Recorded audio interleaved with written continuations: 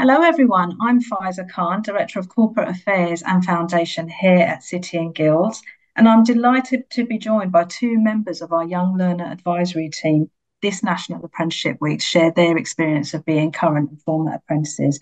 And we're also joined by the esteemed Minister of State, Rob Halfon. I just want to say a bit about the Young Learner Advisory team, um, who are a group of young learners that we stood up here at City and Guilds because actually they help to challenge us to make sure we're doing things properly. And shortly they're going to challenge the minister a bit um, on apprenticeships. So um, they bring direct experience to the conversation, and um, I hope it will be a really great chance to hear their perspective. I'm now going to hand over to Jerry and Tanaka just to introduce themselves. And Minister, actually, if you could introduce your brief to the young people, that'd be really great. We'll then go into the first question with Jerry. Over to you, Jerry. Thank you, Minister, for taking your time today to speak to us. So I'm Jerry. I did an apprenticeship at Microsoft two years ago, a level four in data analytics. So I have a background in apprenticeships, and now I'm part of this YLAT team trying to push for apprenticeships. And currently, I am a, a data consultant, so pretty much owe my career to that apprenticeship, getting me into the route and further down the line. Over to you, Michael. So thanks, Jared. Thank you, Minister, for taking the time to be here. I'm currently a level six degree apprentice studying civil engineering. I'm also working as a project manager in the highways industry. I've completed a level three and level four apprenticeship in the past and really want to be an advocate for the next generation for apprenticeships and vocational education. Fantastic. So, um, Minister, do you just want to say a little bit about your brief? I'm sure everyone knows who you are, but it's always good to to get you to say it in your own words. Yes, well, hello everyone. It's uh, lovely to be here and to talk about apprenticeships, which is my favourite uh, subject, and also to do it with City and Guilds that does so much for skills. My name is Rob um, Halfon, and uh, please call me Rob or Robert in this interview. Um, and I am the Minister for Apprenticeship Skills and Higher Education. Um, and this is my second time doing this job. I previously did it between 2016 and 2017. Fantastic. Thank you. Okay, so Jerry, over to you for the first question. So hopefully these questions aren't too taxing and should be very like easy. First question being, in your opinion, what is the best thing about apprenticeships and what do they provide? If, if, if I may, um, I want to just tell you how I came to be doing this brief. And um, it was back in 2008, 2009. I wasn't even an MP, although I was a parliamentary candidate. And I met some young people being looked after by Catch 22 and the Prince's Trust. A lot of them started talking about apprentices. And but they really wanted to do it, uh, do be, be be an apprentice, but there were no opportunities, and it was really hard for them. And they, the websites were complicated, the job interviews were far away. So I decided on that day that if I ever got elected to Parliament as MP, I would do everything I could to promote apprenticeships and skills. My first ever speech in the House of Commons, way back in 2010, part of it had a was about trying to get schools to encourage more students to do apprenticeships. And it's been, I've been the passion of my political life. And the reason is, is because I see that apprenticeships answer so many questions. They help young people get on the ladder of opportunity. Um, and the top of that ladder, of course, is jobs, skills, prosperity for themselves, for their friends, their families. Um, but it also helps meet our country's skills needs as well, because we have skills that we need to have to succeed as a nation. And of course, it helps, in my view, um, significantly those from disadvantaged backgrounds, because you earn while you learn, you get a good skill. 90% of plus of apprentices who complete their apprenticeship get good jobs in the companies that have hired them. So it really is a ladder of opportunity to the disadvantaged as much as everybody else. Yeah, I think I completely agree with that. And just on that point, I think we see that large multinational companies have great masses of apprentices applying to them, and they they go get through the door. Like I did mine at Microsoft, there was thousands of applicants. But what is what is government doing to push more smaller companies to get applicants and for them to re- retain their talent? Yeah, well, first of all, it's very important that big companies hire apprenticeships, and that's why we introduced the apprenticeship levy. And what that levy does, it means it give um, ensures that big companies can hire apprentices. But what it also means is that we, if they don't use their levy, we then have the funds to pay smaller businesses for the predominantly for the cost of training. So what we do to help small uh, businesses hire apprentices, which I think is what you're asking me, is we fund them about 95% of the costs of the training. So that's a pretty big amount of the apprentice. We also give small businesses £1,000. We give the provider £1,000 every time they hire an apprentice. If a small business has less than 50 employees and employs a 16 to 19 year old, we pay all the training costs. Um, so we're doing everything we can. We're trying to cut red tape and regulation for small businesses. In the old days, amazingly, there was like a, a limit on the number of apprentices that small businesses could employ.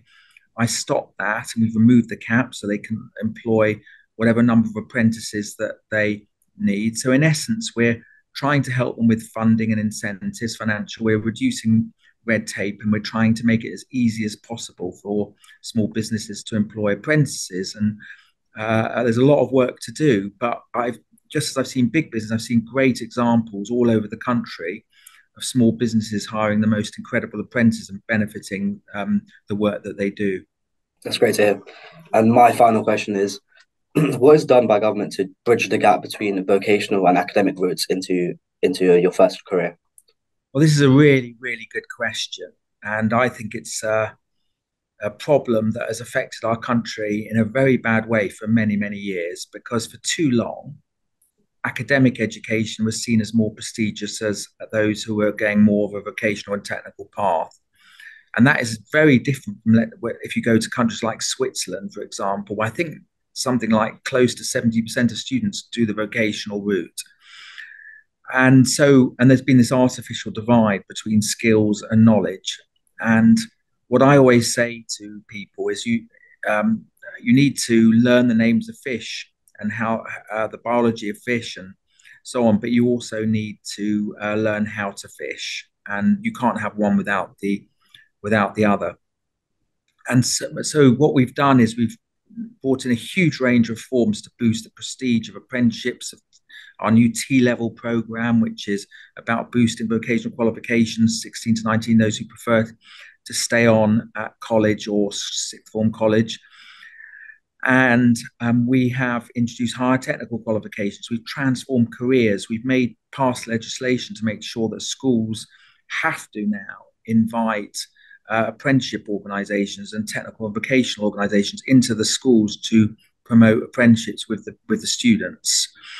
Um, and slowly, slowly, things are changing, uh, which is really encouraging because we are talking about skills uh, in a way that we've never had before. Ten years ago, I doubt you guys would have been interviewing um, an apprentice minister in the same way um, because it would have been a podcast about going to university.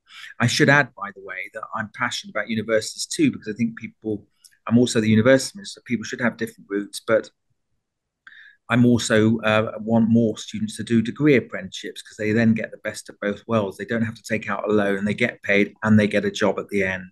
Thank you. Um, pass it over to Snapper to ask some questions. So you may have touched on some of this already, but I'm very curious to know what plan does the government have to work more closely with employers to embed apprenticeships into their organisation and also drive more opportunity for apprentices as well? Yes, so we, we're doing a huge amount. One of the reasons why we introduced the levy was mm. so that big employers would be encouraged to have apprentices, and that has really changed. It's incredible what has gone on. You know, from Amazon to Google to the police service to the NHS, legal in between.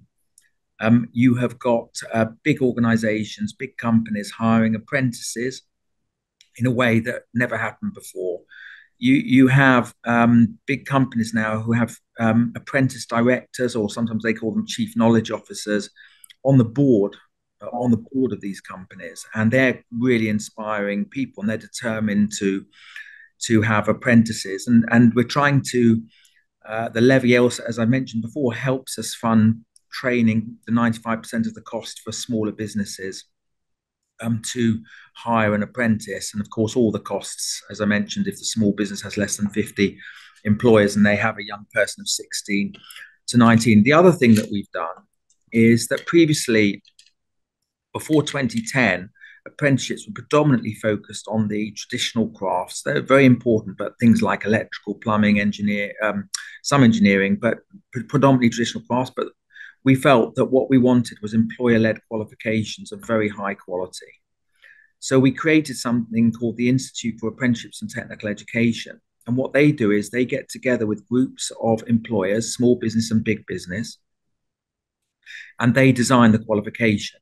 So we now have over 690 different apprenticeship occupations from aeronautical to, zoology with all different levels from level two right up to level seven, degree level and higher. And all these qualifications have been designed by employers because obviously, if the employers design them, they're more likely to give people an apprentice and give people a job because they design, they know what the kind of qualifications that they, their employers need. So everything we've done in terms of funding and designing the qualifications um, and has been about um, ensuring um, that uh, we get business embedded into the apprenticeship system. And you've seen that. I mean, we've had over 5 million apprentices in all kinds of occupations since 2010. And you, you yourself are doing a degree level apprenticeship that never existed before. So we introduced that in 2014. Um, we've had well over, I mean, I think over around 200,000 plus uh, degree apprentices since that time. And uh, that is amazing because um, it is really given the prestige to apprenticeships. And some all those people who want to go to university but want a skill they have that option as well. Absolutely. And say one of the things i've seen myself as a degree apprentice is studying alongside the full-time students. And it's been such a privilege to get the same level of knowledge and not be any different from them. So i'm very grateful to hear that the government's working on that.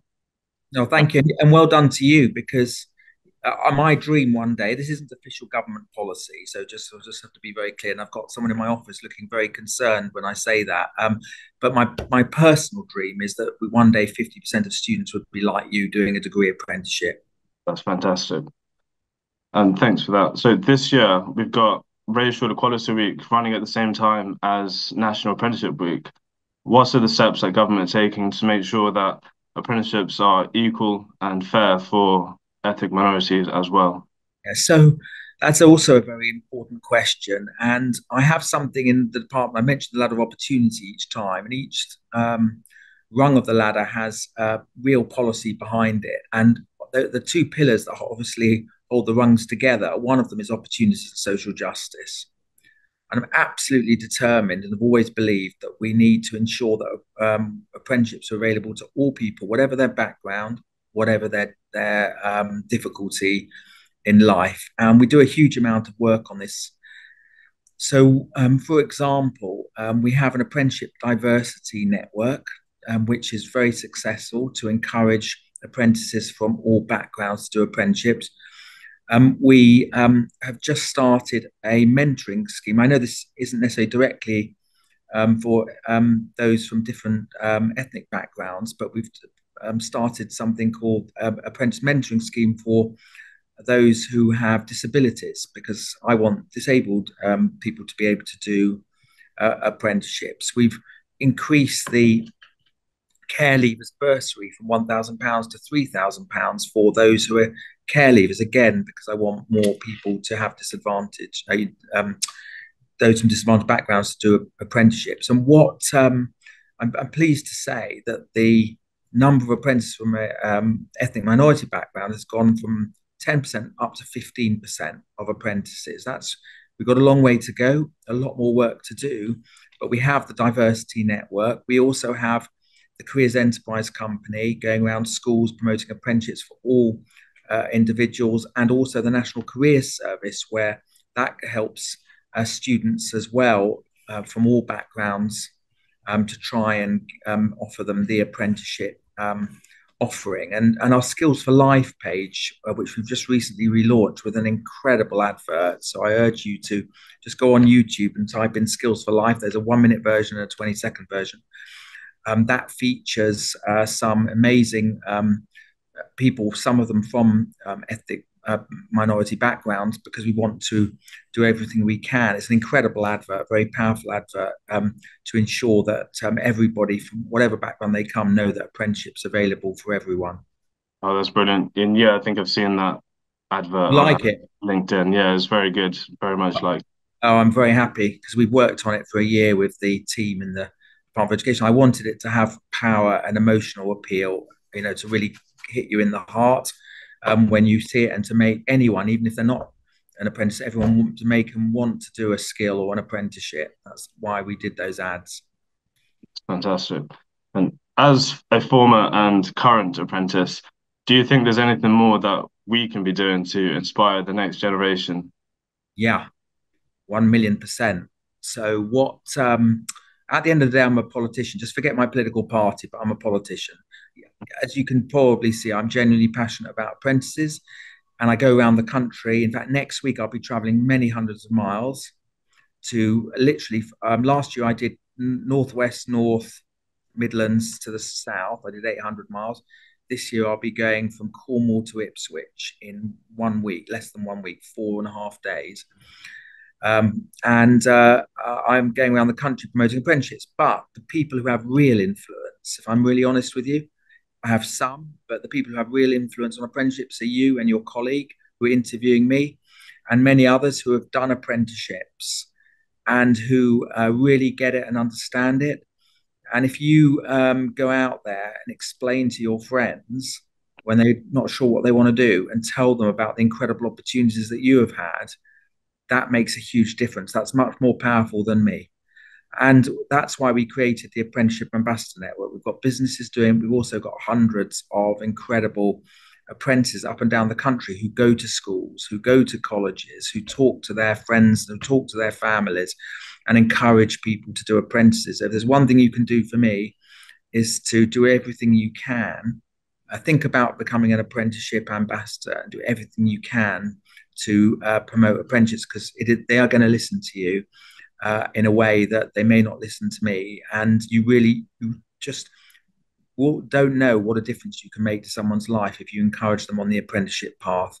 I have a bonus question to ask you while you wait there. So, um, what what could be done to what's what's been done to promote uh, opportunities in both small businesses? Well, currently, small businesses and large businesses both offer offer apprenticeships. But what what is done to ensure that they're both seen as equal opportunities and the progression is equal, better, and small companies aren't seen as worse off? Yeah, so um, I tried to mention we're doing a lot with small businesses. So we've removed the cap on the number of apprentices. We're cutting the burden of regulation, so it's easy for them to hire an apprentice. We're trying to um, uh, we give them a lot of funding, so 95% of the training costs, 100% of training costs if they have a 16 to 19 year old and they have less than 50 employers. Um, we have we try and help them with the providers. We work with the providers as well um, to uh, try and ensure that they can lift the burden on um, you know red tape for particularly for smaller businesses. It's much easier for big business to deal with all that stuff. And the other thing, going back to the big business thing, is that we're now allowed 25% of the levy, so that's a quarter. Uh, sorry, not to, it's more than a quarter, 25%, um, to be used for funding small businesses. So they can use their levy and choose any small business they want and say, right, we will fund an apprentice, use that levy to fund an apprentice in that small business. So we're trying to um, ensure parity. We want to get more small businesses to hire hire apprenticeships. Thank you. Really great to hear. And back to Faiza. Thank you, Minister Halfon. Thank you to Jerry. Thank you to, to Tanaka for joining us. Um, this National Apprenticeship Week, I really hope we can make the most of apprenticeships, change more lives, by giving people the skills they need for life. Thank you. Thank you for taking the trouble to interview me. Thank you for your time. Take Cheers. care.